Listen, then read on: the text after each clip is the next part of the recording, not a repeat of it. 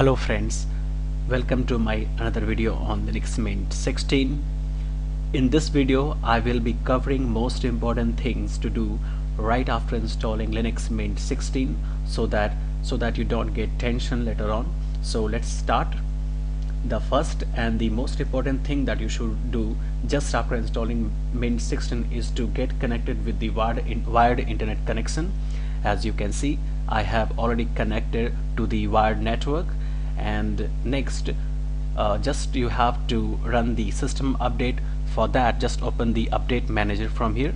Just search your update manager and just give your password. And just you have to simply run this update manager. And you have to click on this install updates to get the get the last minute bug fixes. So just uh, click here uh, to update your system. Next thing that you have to do is to enable and install the the additional driver. So for that uh, open the driver manager.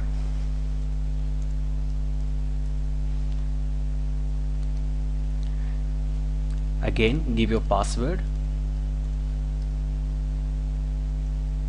here you have to enable the proprietary drivers.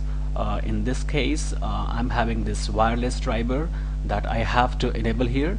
So just after selecting it just uh, click on this apply changes.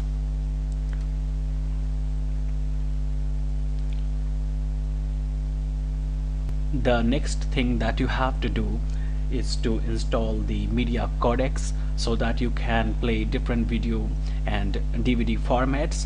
So for that you have to install the Ubuntu restricted extras because that contains all the packages uh, that are necessary to play the different video and uh, DVD formats. So just uh, open the software manager again and give your password here here. Just type the Ubuntu restricted extras. Ubuntu restricted extras and you have to just install this. So just uh, install this.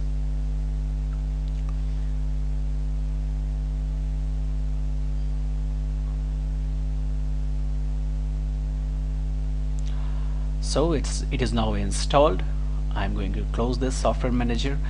And the next thing that you have to do is to install any software so that so that it can support your camera uh, camera of your laptop or your PC so for that there is a popular uh, camera software called as cheese. So again from software manager you can install that. So just uh, again type here cheese. This is one of the of the most popular webcam software. So just uh, click on install.